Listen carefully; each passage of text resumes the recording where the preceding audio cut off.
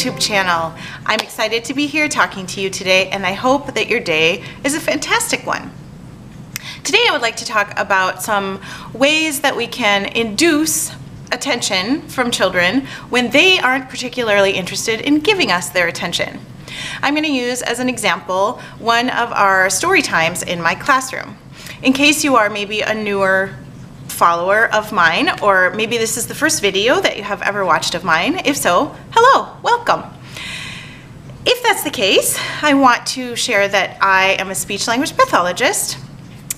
It, it, that involves a bunch of training, and I've never actually talked about that. So maybe I should. It's a great profession, very flexible, and very, very fun because I get to see all sorts of progress from the students that I work with. And it makes me very happy every step that they take, every skill that they learn, everything we practice changes their lives because they can communicate in new ways. And that's really exciting to me. So obviously I love what I do. I don't see private clients anymore. Instead, I wrote a curriculum which I am continuing to improve and develop and which I distribute. And it is a curriculum that teaches spiritual truths to kids with developmental delays and disorders such as autism, I distribute it to churches across the world. If you are interested in finding out more about that, I will put a link down below to my website and you can check that out. Or of course you can leave me questions down below or you can email me if you wish to find out more. It's super fun. I love what I do here as well. Also, to keep my skills sharp and because it's my calling, I run the special needs team, which I call the one-to-one -one team at my local church. And I've done this at a couple of different churches now as my husband and I moved from my husband and I developed a program at one church and it grew and got very large and then we passed passed the baton and moved on to another church where we are doing the same thing. And it's very exciting to sort of plant ministries this way. And it's super fun because I get to meet lots of different students. I get to have continue to have a wide variety of experiences and I get to learn from all of these kids and their families and it's my favorite. It's really fun. One of the things that happens in my classroom on a regular basis is that my kids don't like to sit at a table and do anything because they would rather play with my super awesome toys and sensory equipment, which I understand. However, the purpose of them being there is number one, I want to keep them safe. Number two, I want them to have a wonderful experience so that they love coming to church and coming to see us. And third, I want them to make friends with the other students that they encounter. Also, I would love them to get to know Jesus, to get to experience what it's like to have a friendship with Jesus and to know that God loves them and to grow in their relationship with God. Of course, if you are not a spiritual person, that's fine. Take what you like from the video and use it, and uh, don't just turn it off just because I'm talking about God stuff. Pass that by for now. Maybe it will come up again in your life at some other point. So, most of my students are not all that interested in a story time, learning a lesson, doing that sort of thing. And many of them have difficulty with motor activities too because it's difficult for them to do those things sometimes with, with their delayed motor skills. There are different ways to encourage kids to participate in stuff that they otherwise might not want to. And I do need to say that there are different levels of participation. I'm a big fan of what I call, what is called in my profession, graduated participation, which means that kids participate at different levels, as I just said. So we have one student in my class who participates by wandering and kind of circling the table as we are reading our story. That, for him, I would consider participation because he's nearby. And for him, that's a big deal. He used to just be over in the corner squealing, and now he's quiet for the most part, or making happy noises and walking around our table that's good improvement. Hopefully someday he will want to sit at the table with us or at least be willing to if we support him properly. And that would be another improvement. And we love improvement, any little tiny one. But we also love it if kids are in the same room with us, in the same vicinity as us. And that can be participation for some of our kids. For other kids, participation is helping us read the story. I have a number of boys who love to be the teacher, who love to show off that they're learning to read. And it's very, very slow if I let one of our students read the story sometimes. But it's rewarding because the child is participating in a new way and wanting to help his peers learn something, which is really fun for us. So we encourage that whenever possible. Our my curriculum does the same story for four weeks in a row because we all know that repetition is what helps us learn the best. And we do different activities, different art projects every week related to the same story. So I don't let the students read the story the very first time because I want to be the one who implants in the story the right cadence and the right focus and the questions that I ask about each illustration and that kind of thing. But the third time and the fourth time that we read that story, sometimes it really helps to have one of our students be the teacher for that part, and it can be really fun. As part of graduated participation, I do have different expectations of each one of my students. There's one student I know will try to run and get in the swing and giggle. He'll just giggle and giggle and we just have to calmly tell him it's not time for swing. We sit in the chair. And then we remind him of what our story time rules are. Quiet hands, quiet feet, quiet mouth, sit in chair. We have visuals of that and we repeat it most weeks. We have each of our students repeat that at the table. And it reminds us of how our bodies are supposed to be during story time because this is a learning time. Do you remember what our story time rules are? What are they? Can you tell me? That one is quiet mouth, right? What's that one? Feet or hands. What do we do with our hands? Hands quiet. Hands quiet. Good job. What do we do with that one? Uh, you sit quiet. That's right. We sit in our chair. And what about that one? Uh, keep, keep, keep your feet to yourself. That's right. Keep your feet to yourself. Those are great rules, right? Because then we can hear the story and we're not hurting our friends. So we repeat that with him. We let him be the example of how we're supposed to sit at story time. And usually that's the kind of redirection that he requires. One of my other students likes to be silly and slip under the table or put his feet on the table or sit on the table. And he just likes to push boundaries. He's kind of an oppositional kind of kid. Um, very difficult family life, difficult upbringing to this point, and um, we've been working with him since he was two on working better within structure because he pushes back against every kind of suggestion or limit or rule. And so this is one of the things that we're working on is sitting appropriately like a student should sit. He's got super high cognitive and language skills, but these other behavioral things and social things are really delayed for him. So that's what we're working on. And the best way to help him get involved is to do something surprising. And so I'm going to play a clip for you in a little bit. And you'll notice in the clip that I get a crazy facial expression, which is very important for drawing kids in. My voice changes. I make a, a very surprised sound. And I ask him what he sees, what he thinks the right answer is. And he loves to give the right answer. And then I can reinforce what a great job he's doing. With any sort of behavioral issue, we always want to focus on what the kids are doing right. It's very easy to say, stop that, sit down, you're too noisy, be quiet, stop walking around, sit in your chair. It's not as easy to tell kids what to do, like the rules, quiet hands, quiet mouth, quiet feet, sit in chair. I didn't do them in the right order, but that's okay. We tell the kids what to do, and then we reinforce, we compliment them and celebrate when they're doing a good job at that. You'll also notice in the following clip that I have one little guy at the end of the table who you would think would be incredibly distracting. And in a typical classroom, maybe he would. This is a child who doesn't have functional uh, verbal language at this point. It's great cognitive skills, very good communication, just not verbal communication yet. He's very good at telling us what he doesn't want and communicating that very, very clearly through his behavior. He really hates story time and he doesn't like other kids very much.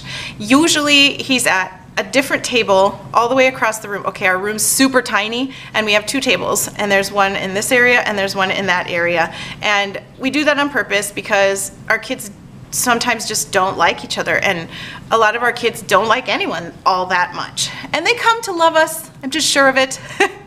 Most of them really do.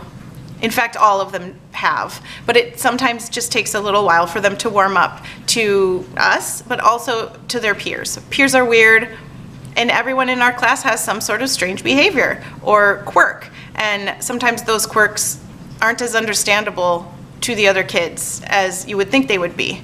It's really funny because one of my little guys with a social deficit constantly says, that kid's weird or he doesn't talk right. And we have to point out to him, to him, you seem weird because you're mean all the time or because you say rude things or because you try to sit on the table. He thinks that's weird. We have to constantly point out to all of our students that each one of us has some stuff that we're working on, and we're all working on different things, but our things are gonna seem weird to everyone else. Nobody else is gonna understand why I'm working on not being angry at other drivers and being content with my situation, even though I would prefer it to be slightly different. I have different things I'm working on than you do, and my kids are working on all different things. So it's good to remind them of that. That aside, this student on this particular day was sitting at the same table with peers at story time. That's a huge deal for him. Most of the time, he's sitting at the other table and we were working on helping him actually do point to the main idea strip as we are reading. And we're working on him seeing the illustrations and actually caring what they are even though he's some distance away. And you know he can't play with toys during that time. He's not allowed to do anything else. He's just refuses to sit at the same table with us. That's okay with me. But in this particular clip it's a huge moment for us that he was willing to sit at the table with us.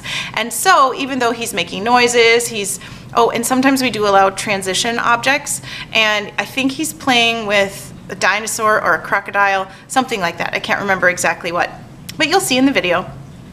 And it's making noises, and it's talking, and he's making some racket. But his racket is not distracting the other kids at the table, and he's at the table. And that's a big deal. So there's a lot of thinking that goes into what we do allow and what we don't allow. We have to know our kids. We have to know the days that we can push a little bit and we have to know the signals when we're pushing too hard and the kid's gonna melt down or freak out or throw a chair or something. And we all mess that up sometimes and push too hard or not hard enough. But we need to keep pushing. We can't become stagnant in allowing that kid, if he did the same thing every week, the kid at the end of the table with the toys, if he did the same thing every week, at some point, pretty quick, we would say, okay, toys are all done, now is listening time. And we would take that next step with him. We always want to be taking the next step, even though it it pushes the kid because that's that's how we all grow and improve. We take new steps. So you'll notice me doing a few things in this video to gather and entice the energy and the attention of our kids. And I would like you to take a peek at it and see what you see. Never worry, we, we wanted your hands in there. It was so beautiful. Hey, Glitter, sit! We'll do that in a minute, that's our art. Remember, sit in chairs, one of our classroom rules. On your tushy. All right, here we go. When I love God, I do what he says. When I love God, I do what he says. This is called obeying God. God says, let Anna have the truck. And the boy says, Okay. That is obeying God. Quiet voice, alien. Sometimes I want to make a bad choice. God knows that making good choices is best for me. When I love God, I obey Him. God says, nice hands. And this girl says, no, God. And she, oh, she's doing to the dog's tail. Is that a good choice? That means the dog is sad and the girl is sad too. This girl, this time the girl says, yes, God, I will have nice hands. And then the dog is happy and the girl is happy. That doesn't say God, it says son. It looks like it, huh? That was oh. weird, right? Sometimes I want to be mean to people. Feet, feet under the table. Hmm. Feet under the table. Thank you. I know that God wants me to be kind to people. God knows that being kind to people is best for me. God says, be kind. And this boy says, yes, God. And he plays catch with his friend, and then she's happy and he's happy. Hey, Jackson, I need you to tell me what's happening on this side.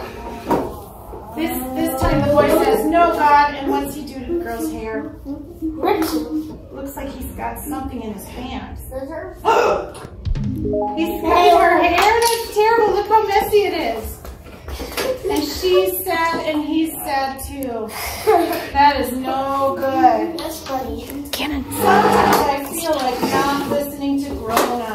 Oh. I know God wants me to listen to grown-ups. God knows that listening to grown-ups is best for me.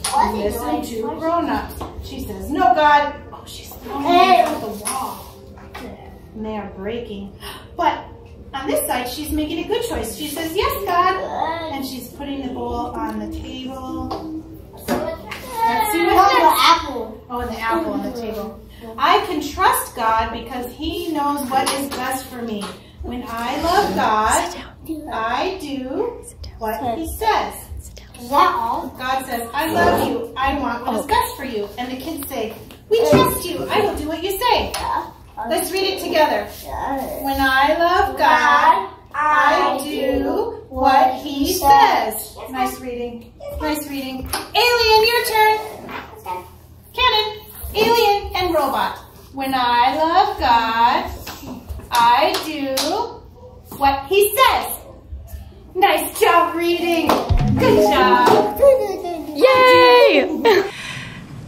Love my kids and I love being in that classroom. It's just so much fun.